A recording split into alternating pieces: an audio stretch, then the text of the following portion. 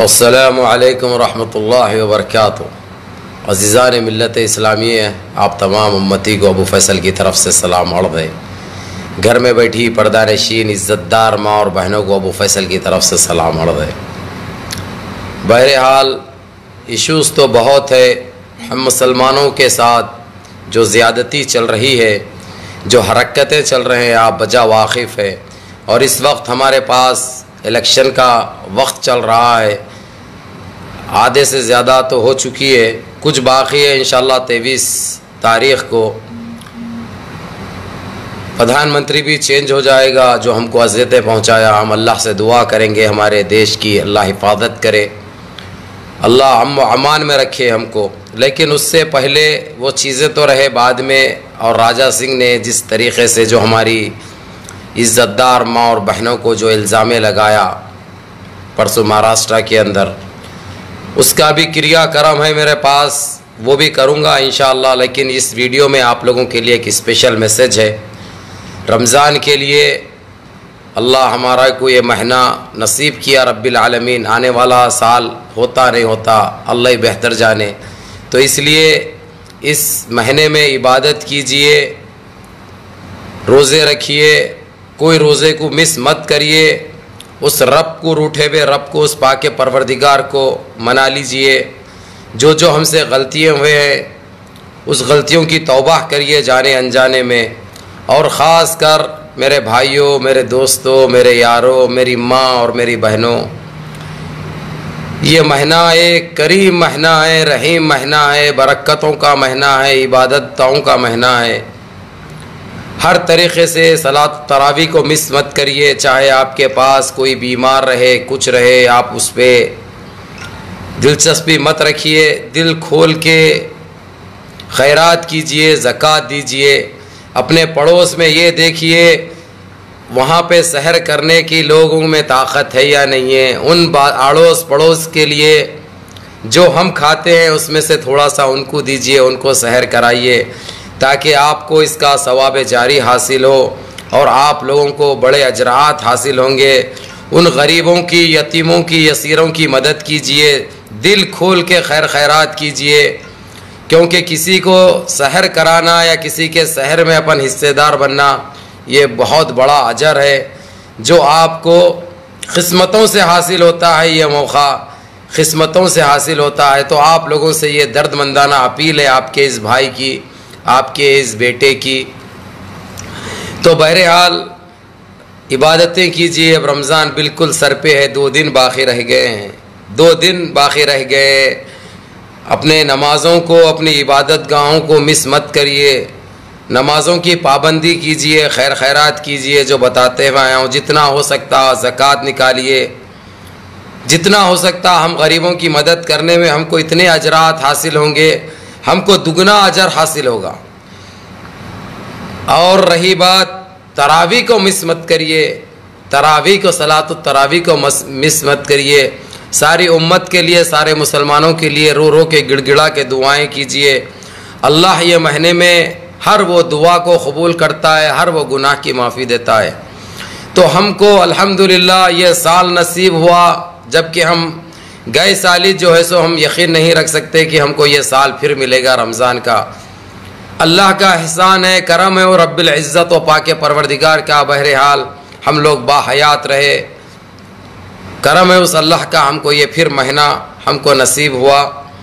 तो इसीलिए आप लोगों से एक दर्दमंदाना अपील है मेरी, रोज़े रखिए और गरीबों के रोज़े रखवाइए, उनके शहरों में हिस्सा लीजिए, उनको सहर कराइए।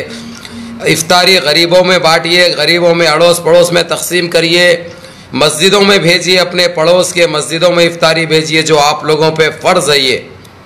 ये आप लोगों में फ़र्ज़ है।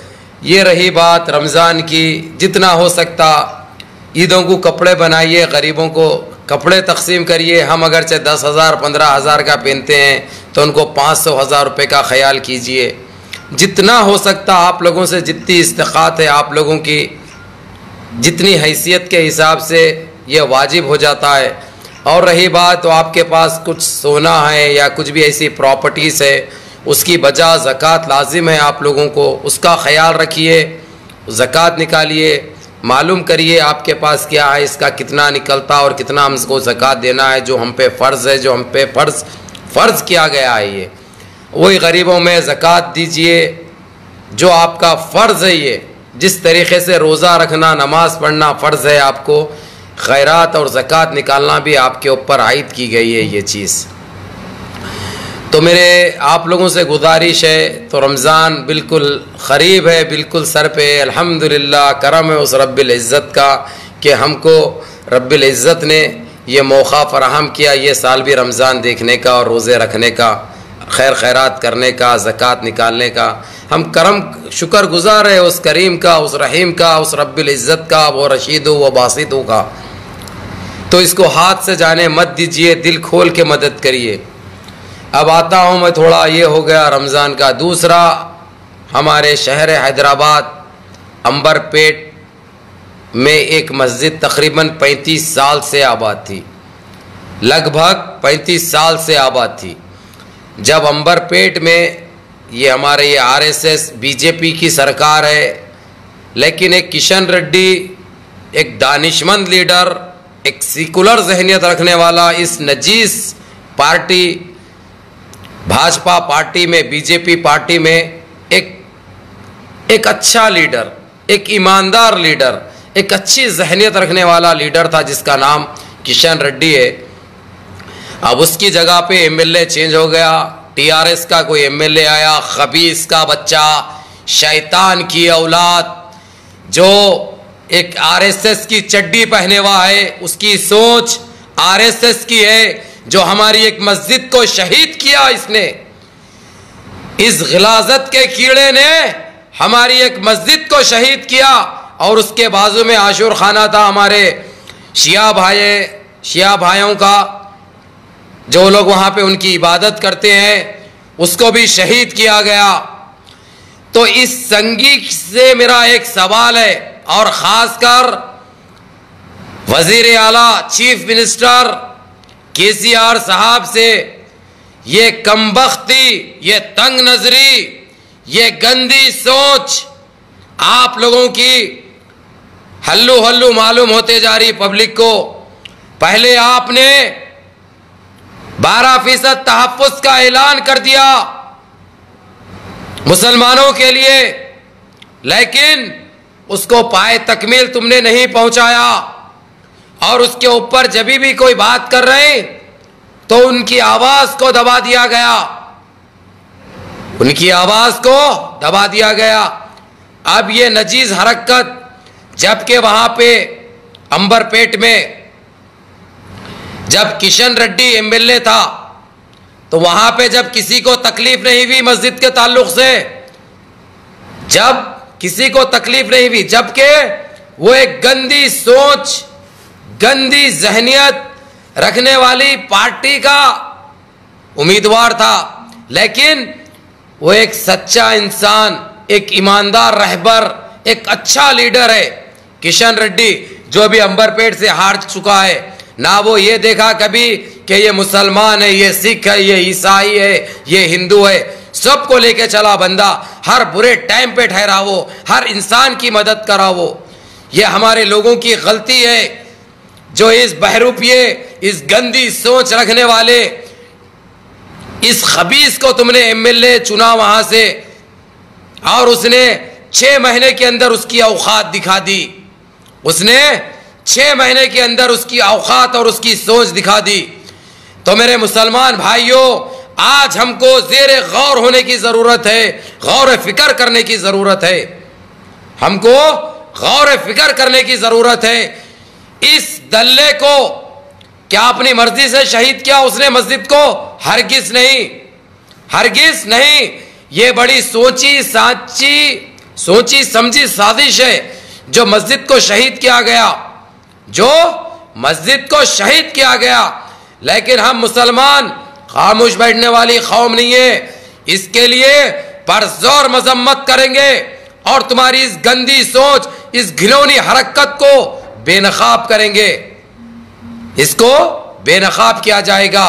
बहरहाल, मेरे मुसलमान भाइयों, आप लोग पर अमन एहतजाज कीजिए, इसके ऊपर आवाज़ उठाइए। हमारी जहाँ से मस्जिद शहीद की गई, मस्जिद वही जगह पे बननी चाहिए। चाहे कुछ भी हो जाए, चाहे कुछ भी हो जाए, मस्जिद जहाँ थी, वहीं पे आबाद होगी, दोबारा मस्जिद बनाई जाएगी। दोबारा बनेगी मस्जिद, इंशाल्लाह। क्योंकि अल्लाह का घर है वो। वो अल्लाह का घर है। हम बाबरी मस्जिद के लिए आवाज़ उठाते हैं। हम बाबरी मस्जिद के लिए रोते हैं। बाबरी मस्जिद के लिए बोलते हैं, ये तो हमारे घर, हमारे पड़ोस, हमारी बस्ती की मस्जिद को शहीद कर दिया गया। तो इनका घिनौना चेहरा हल्लो हल्लो बेनकाब होते जा रहा। इनकी गंदी साजिश, इनकी गंदी सोच हल्लो हल्लो बेनकाब होते जा रही। खैर, हमको उनकी सोच से या उनसे कोई लेना देना नहीं है भाई। हमको उसमें उलझना या उसमें पढ़ना नहीं है। हमको जहाँ पे थी मस्जिद, वहीं पे मस्जिद आबाद होना चाहिए। वहाँ पे मस्जिद बनना चाहिए और पाँच टाइम की नमाज़ अदा होना चाहिए। और जो घिनौनी ये हरकत जो करा है वो एमएलए उसके खिलाफ कड़ी से कड़ी कार्रवाई का मुतालबा करना चाहिए। इसके ऊपर आप लोग आवाज़ उठाइए, पर ज़ोर मजम्मत करिए। यहाँ तक हो सकता पर अमन एहतजाज भी कीजिए। उस मस्जिद को आबाद करने में वो अल्लाह का घर है। यकीन मानो अगरचे आज हम खामोश रहे तो कल हमारा दूसरा अल्लाह का घर टूटेगा। परसों तीसरे के ऊपर नज़र रखेंगे ये लोग। अगरचे हम बर्दाश्त करें या खामोशी अख्तियार करें तो इसलिए हमारा फ़र्ज़ बन जाता, इसकी परजोर मजम्मत कीजिए। जहाँ पे थी मस्जिद, वहीं पे बननी चाहिए। और इस खबीस को, इस लिंडो को, इस शैतान को, इस गंदे नस्ल के कीड़े को, इस गंदे जानवर को इस्तीफ़ा देना, दे देना चाहिए, क्योंकि इसकी गंदी साजिश सारा मुसलमान हैदराबाद का जान चुका है, सारा मुसलमान तेलंगाना का जान चुका है, सारा मुसलमान हिंदुस्तान का जान चुका है। तो बहरहाल, वो रहा सेकंड इशू उसके लिए अलग बैठूँगा। लेकिन इस वक्त आप लोगों से एक दर्दमंदाना अपील है, आप लोग पर अमन एहतजाज कीजिए, इसके ऊपर आवाज़ उठाइए, इस वीडियो को दबा के शेयर करिए, ताकि हमारे भाई का ज़मीर जागे, अपने भाइयों का ज़मीर जागे, जो सोए हैं वो नींद से जागे। जो सोए हुए है, वो नींद से जागे और इसकी मुखालिफत करे, इसकी मजम्मत करे, उस मस्जिद को आबाद करने की कोशिश करे। ये अल्लाह का घर है। ये अल्लाह का घर है जो हम हर हर हाल में बर्दाश्त नहीं कर सकते, ना बर्दाश्त किया जाएगा। ना बर्दाश्त किया जाएगा। चलो अब इसी के साथ मैं इजाज़त चाहता हूँ। दुआओं में याद रखिए। रमज़ान बिल्कुल ख़रीब है। गरीबों की मदद कीजिए, उनके घर में राशन दलाइए उनके घर में रोज़ा रखने के लिए सहर करने के लिए जो ज़रूरी अशियात होते हैं खाने के, उसका ख्याल रखिए। आप लोग कोई एजेंसी को देने की ज़रूरत नहीं है। आप लोग को ख़ुद पता होता है कहाँ पे गरीब है। वहाँ पे जाके अपने हाथों से तकसीम कीजिए, अपने हाथों से दीजिए। जजाकमुल्ला खैर। सलामकुम वरहमल वर्का वीडियो पसंद आया है तो लाइक करिए, अपने फ्रेंड्स के साथ शेयर करिए। और अगर आपके मन में कोई क्वेश्चन है तो आप नीचे कॉमेंट करके